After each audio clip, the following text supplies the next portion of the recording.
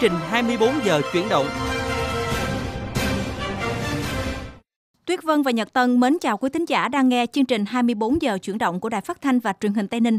Thưa quý vị, dư luận vẫn chưa quên được tội ác khó tin của dì ghẻ hờ dùng roi mây và gậy gỗ đánh chết con chồng. Tất cả đều đặt câu hỏi, luận tội, chỉ trích sự tàn ác lạnh gáy của dì ghẻ này và sự vô cảm đến không thể lý giải của người cha ruột. Vậy mà chỉ cách đây vài ngày, một vụ án tàn nhẫn không kém đã xảy ra.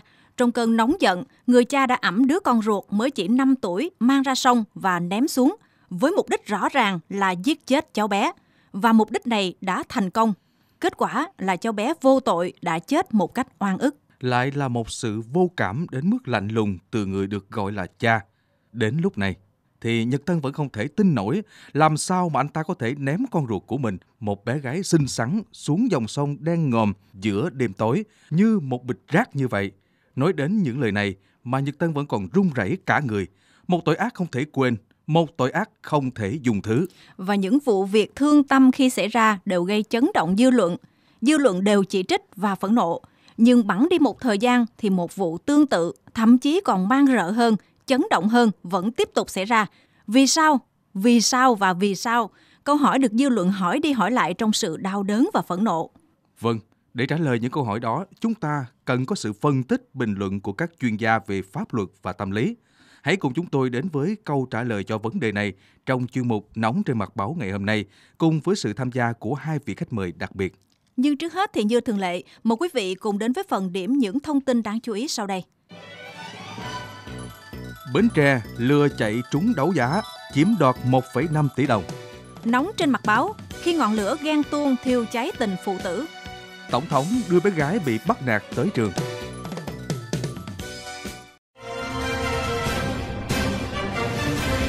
Sáng ngày 17 tháng 2, đoàn công tác của Bộ Tổng Tham mưu Bộ Quốc phòng đã vào kiểm tra hiện trường vụ phá rừng mở đường Trường Sơn Đông qua vườn quốc gia Chư Giang Sinh, tỉnh Đắk Lắk và vườn quốc gia Bi Đúp, núi Bà, tỉnh Lâm Đồng. Tại hiện trường, đoàn công tác đi dọc tuyến đường đã bị sang ủi tại hai vườn quốc gia như Giang Sinh và Bi Đúp, núi Bà.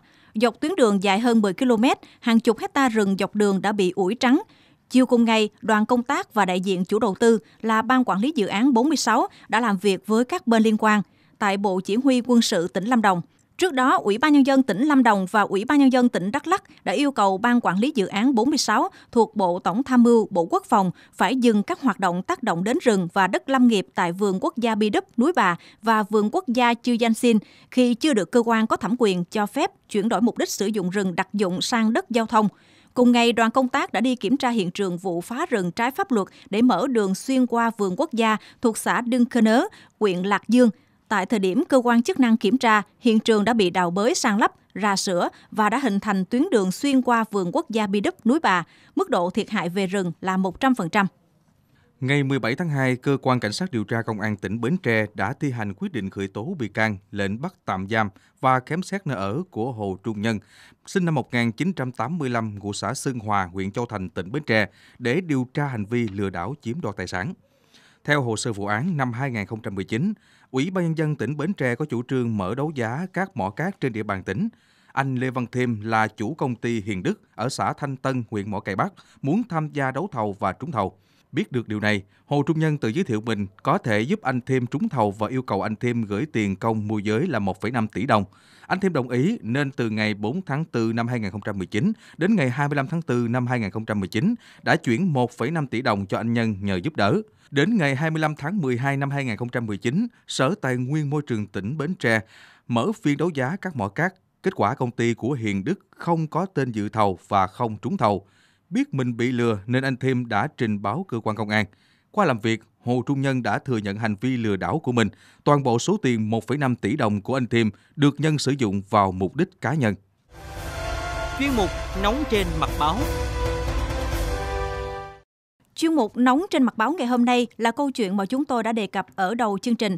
Thưa quý vị, người thân và hàng xóm vẫn còn đang bàng hoàng về sự việc Trần Văn Viên, sinh năm 1992, trú tại xã Tam Hải, huyện Núi Thành, Quảng Nam, nghi vì ghen tuông với vợ mà nhẫn tâm ném con gái mình xuống sông. Bước đầu, Công an tỉnh Quảng Nam xác định nguyên nhân là do người đàn ông này giết con để trả thù vì gọi điện thoại cho vợ mà không nghe máy.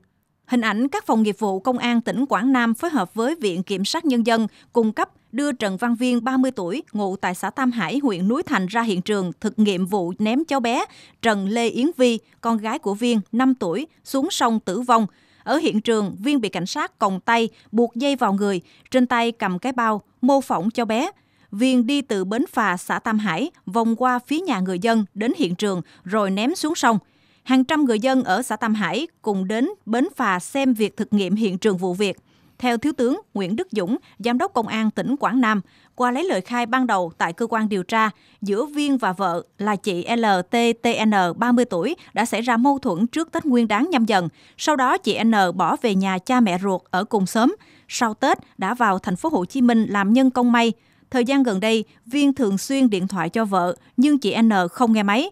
Lúc 19 giờ tối ngày 16 tháng 2, Viên uống rượu say và đến nhà cha mẹ vợ cùng thôn để nói chuyện về việc ly dị vì nghi ngờ vợ ngoại tình.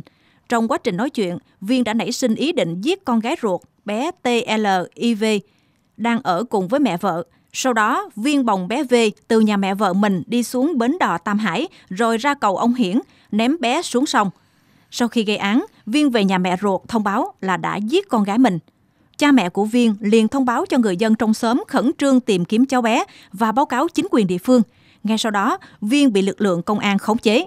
Khoảng 1 giờ sáng ngày 17 tháng 2, thi thể của cháu V đã nổi trên sông cách vị trí nghi phạm ném bé khoảng 100 mét. Tuyết Vân Ngài, Nhật Tân thật sự đau lòng khi đọc được thông tin về vụ việc này. Nhật Tân nghĩ nếu ai đó vô cớ ôm một con vật còn sống rồi quăng xuống sông để giết chết nó, người đó chắc chắn được cho là không lương thiện, thậm chí là tội ác. Huống chi, đây là con người, mà lại là một em bé mới có 5 tuổi, và càng đau lòng hơn, đó lại là con gái của mình.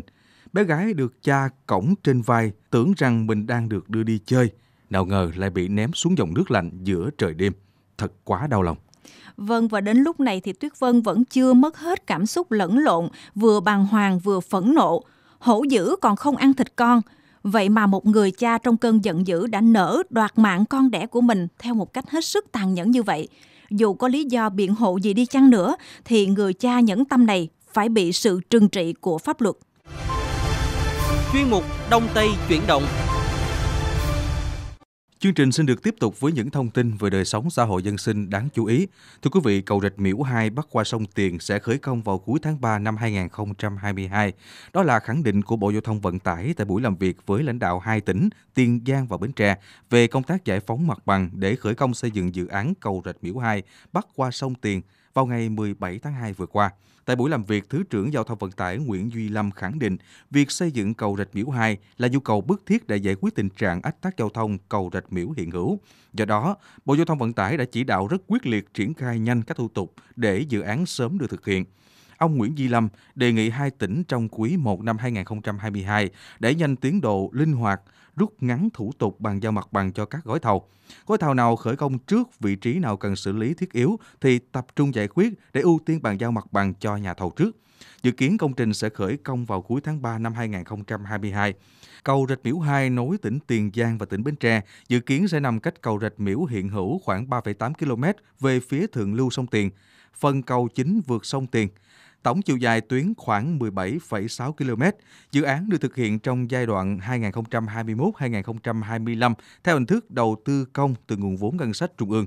Tổng mức đầu tư hơn 5.175 tỷ đồng, trong đó chi phí giải phóng mặt bằng hơn 1.279 tỷ đồng, chi phí xây dựng và thiết bị hơn 3.030 tỷ đồng. Còn lại là chi phí quản lý dự án, dự phòng và chi phí khác. Thưa quý vị, từ 0 giờ ngày 16 tháng 2 đến hết ngày 15 tháng 3, thành phố Hồ Chí Minh triển khai vận hành thử nghiệm hệ thống thu phí sử dụng công trình kết cấu hạ tầng, công trình dịch vụ tiện ích công cộng trong khu vực cửa khẩu cảng biển trên môi trường thật, không thu phí. Việc vận hành thử nghiệm hệ thống thu phí cảng biển nhằm tạo điều kiện cho cơ quan, đơn vị, tổ chức, cá nhân có liên quan sớm tiếp cận hệ thống thu phí trước khi vận hành hệ thống thu phí chính thức kể từ 0 giờ ngày 1 tháng 4. Đối tượng thực hiện là tổ chức cá nhân kinh doanh hàng hóa tạm nhập tái xuất, hàng quá cảnh sử dụng công trình kết cấu hạ tầng khu vực cửa khẩu cảng biển thành phố Hồ Chí Minh, tổ chức cá nhân kinh doanh hàng hóa nhập khẩu, xuất khẩu sử dụng công trình kết cấu hạ tầng khu vực cửa khẩu cảng biển thành phố Hồ Chí Minh, bao gồm tổ chức cá nhân mở tờ khai hải quan tại thành phố và ngoài thành phố. Chuyên mục Đông Tây chuyển động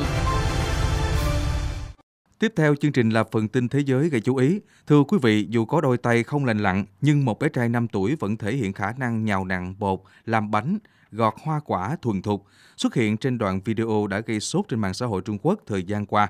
Đó là câu chuyện của bé sam sam sống tại thị trấn Tháp Hà, tỉnh Hà Nam, Trung Quốc. Ngay từ lúc sinh ra, bé đã không có những ngón tay trái nhưng dần học được cách sống chung với khó khăn này. Tuy khuyết ngón tay, nhưng Sâm Sâm vẫn thể hiện sự khéo léo và thành thạo từ việc nhào bột, cán thành những vỏ bánh mỏng, trộn nhân và gói thành những chiếc rồi mang đi hấp. Mẹ của Sâm Sâm thường hay đăng các video về cuộc sống hàng ngày của con lên mạng xã hội với hy vọng sự quan tâm của mọi người là niềm động viên với bé. Tiếp theo sau đây là một câu chuyện nhân văn giàu tình cảm được nhiều người dành lời khen tặng. Chuyện là sau khi hay tin một cô bé 11 tuổi bị bắt nạt, thì vị tổng thống đã đích thân đưa em tới trường. Câu chuyện xảy ra ở Bắc Macedonia, quốc gia vùng Balkan. Tổng thống Stevo Bendarovsky đã tới thăm Empla Adema là gia đình cô bé 11 tuổi ở Gostiva, cách thủ đô Skopje khoảng 65 km về phía tây nam. Sau khi hay tin cô bé bị bắt nạt vì mắc bệnh đau. Họ cùng nói về thách thức mà cô bé 11 tuổi và gia đình đối mặt hàng ngày. Sau đó, ông dắt tay Empla đưa tới trường. Tổng thống Bendarovsky nói, chúng ta đều bình đẳng trong xã hội này. Tôi đến để bày tỏ ủng hộ và nâng cao nhận thức rằng hòa nhập là nguyên tắc cơ bản. Văn phòng Tổng thống hoan nghênh quyết định mở điều tra vụ bé Embla bị bắt nạt của Thanh tra Quốc gia và Ủy ban Bảo vệ chống phân biệt đối xử. Liên tục chương trình Cà phê không đường, cấp thiết xem xét cho mầm non sớm trở lại trường. Giúp người bị truy sát, nhân viên quán karaoke bị đâm tử vong. Chuyện ngày mới, người thổi hồn cho tranh gạo.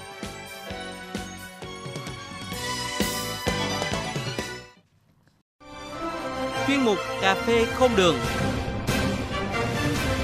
Kính thưa quý vị thính giả, thời gian vàng để trẻ em phát triển là từ 0 đến 6 tuổi và đây cũng là khoảng thời gian ảnh hưởng rất lớn đến quá trình hình thành và phát triển nhân cách của trẻ sau này. Đó là thời gian để chuẩn bị cho trẻ những hành trang quan trọng để trẻ có thể học tập suốt đời. Vậy mà trẻ phải ở nhà thì đây là thiệt hại rất to lớn. Nếu mà các con ở nhà quá lâu sẽ mất đi những kết nối bình thường với xã hội và nó sẽ ảnh hưởng tác động đến quá trình phát triển của các con rất lớn. Vâng, thiệt thòi với gần một năm phải nghỉ vì dịch Covid-19 nên con được trở lại trường cũng là niềm mong mỏi của nhiều bậc phụ huynh cũng như các trường, nhất là các trường mầm non tư thục. Câu chuyện thời sự này được phản ánh qua phóng sự sau đây. Kính mời quý vị cùng lắng nghe. Tại Minh ơi, thì sắp tới có thể là con được quay trở lại trường đấy. Thế con đã muốn được đi học trở lại chưa? Mẹ ơi, con vẫn muốn ở nhà chơi với mẹ. May mắn vì có thể chủ động thời gian để chăm sóc đồng hành cùng con trong suốt 10 tháng qua khi con phải nghỉ học. Tuy nhiên, chị Duyên ngụ tại quận Cầu Giấy, Hà Nội vẫn nhận thấy con có những thiếu thốn về mặt tinh thần khi không được tương tác trực tiếp với các bạn cùng trang lứa trong thời gian dài. Chị Nguyễn Thị Duyên, quận Cầu Giấy, Hà Nội chia sẻ. À, mặc dù là chơi với bố với mẹ nhưng mà um, cũng không thể nào mà hòa vào các trò chơi của các cháu được cả thế nên là vẫn thấy là cháu có những cái sự bí bách. Các cô ờ, giáo ờ, có tổ chức các cái buổi zoom cho các giao lưu thì thấy cháu vô cùng hào hứng. Thế mới nhận thấy được rằng là cái việc mà ờ, con được đến trường để tham gia được cùng cô cùng với các bạn trang lứa có cái môi trường tương tác để giúp con phát triển thì thực sự nó rất cần thiết đối với con Lứa tuổi nhỏ lại nghỉ quá lâu nên nhiều phụ huynh phải xoay đủ cách để trông con, không lo về mặt thể chất nhưng tinh thần và kiến thức là những thiếu hụt khiến chị Trang ngụ tại quận Tây Hồ, Hà Nội phải thuê cả giáo viên đến nhà để bù đắp lại cho con. Chị Bùi Thu Trang, quận Tây Hồ, Hà Nội cho biết. Bên cạnh cơ sở vật chất đầy đủ hơn thì còn có những cái phương pháp giáo dục phù hợp với sự phát triển của các con. Cho nên là gia đình mình rất mong muốn là các con có thể sớm quay lại trường học trong thời gian gần nhất. Các con sớm trở lại trường phụ huynh mong một thì giáo viên mong 10. Bởi ngoài không phải kiếm tạm kế mưu sinh thì được trở lại với nghề của mình là niềm vui, hạnh phúc của các cô. Cô Lê Thị Thương, giáo viên trường mầm non cho hay. Suốt một năm mà không được gặp các con thì tôi và các cô thì cũng rất là mong các con có thể đến trường và quay được quay trở lại nghề của mình. Và khi được nghe thành phố có chủ trương là xem xét cho các bạn học sinh mầm non được uh, quay trở lại trường thì tôi cũng rất mong là các con có thể sớm quay lại trường. Còn với các trường tư thục thì việc xem xét để có thể sớm trở lại vừa là niềm hy vọng, vừa là niềm tin để giúp họ vượt qua được các nguy cơ giải thể luôn thường trực như hiện nay. Bởi hàng ngàn trường đã không vượt qua được bão Covid phải đóng cửa là thực tế.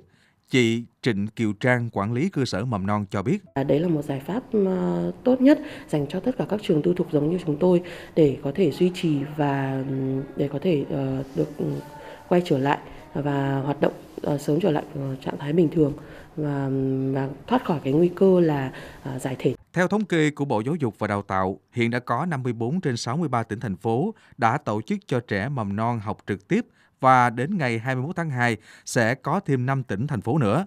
Cùng với việc mở cửa trường ở các cấp học khác thì xem xét sớm cho mầm non trở lại trường cũng là cấp thiết. Tiếp tục 24 giờ chuyển động hôm nay là những thông tin nóng mà chương trình đã cập nhật. Thưa quý vị, phát hiện thanh niên bị nhóm người truy đuổi chạy vào quán cầu cứu, nhân viên quán karaoke cho người này vào bên trong lẫn trốn, khiến cho nhóm người truy sát phát hiện xông vào đâm chém loạn xạ. Liên quan đến vụ việc này, trưa ngày 17 tháng 2, Công an quận Bình Thạnh, thành phố Hồ Chí Minh phối hợp với các đơn vị nghiệp vụ điều tra sự việc khiến nam nhân viên quán tử vong.